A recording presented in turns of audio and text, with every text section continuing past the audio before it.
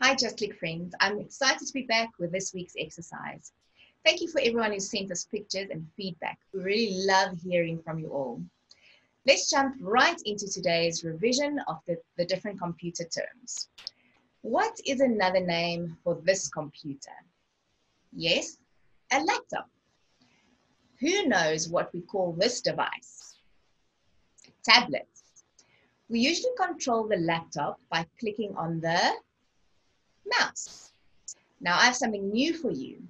What do we call this small device that we can plug into the computer? A USB memory stick or a flash drive. Very clever. You are just click star in the making. Friends, before we start, remember to always sit at a table, even, even if you're using the tablet. No feet on the chair and no elbows on the table. In last week's lesson, we practiced our mathematical skills. We had to count objects and put them into a box. Today, we will focus on improving our logical reasoning skills.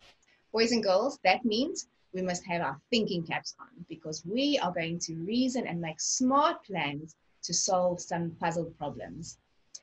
Mommy, although visual perception also plays a role in today's lesson, we are mainly going to focus on these logical skills um, that will, we will need to follow instructions and to solve the given problems. Association, logical reasoning or thinking, decision making, and problem solving.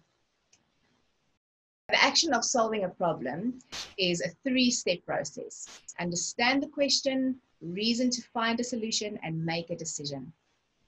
Now the computer will give you a shape or tangram puzzle. You have to use these smaller pieces at the bottom to fill the shape puzzle or outline at the top. Sometimes you will have to turn the top puzzle picture so that the smaller shapes can fit. Again, we will start by clicking on the red controller button at the bottom of the screen.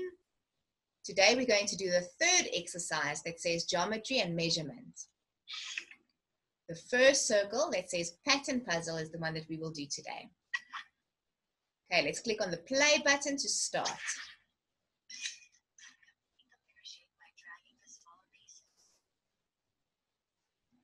There we go. Have your thinking caps on. Okay, so this is the square that we have to fill with the four little brown pieces. Now you can take one and dr drag it all the way in between the lines and then we drop it. If you by accident take the wrong one and put it in the space it's not going to stick, then you have to try a different one and try and dragging it and dropping it nicely in between the lines. Be careful not to put it next to it. Must be in between the lines. Okay, now we've got a triangle. Remember, always take the biggest shape first. That's a little clue. That's going to help you. The biggest one, and now we've got one small triangle. There it is. Um, this turning little button, the circle here, it helps you to turn the puzzle. Sometimes that's also going to give you a clue and make it a bit easier for you drag it and drop it. Here we go. You can use different shapes to fill it up. Let's see. Oh, our time is up. When the time has run out, the computer will show you your score. Click on this yellow replay button for another round. Boys and girls, remember to think first. Make a plan and then take action. Try to solve the problems and don't give up. Mommy and daddy, sometimes they will need help to reason.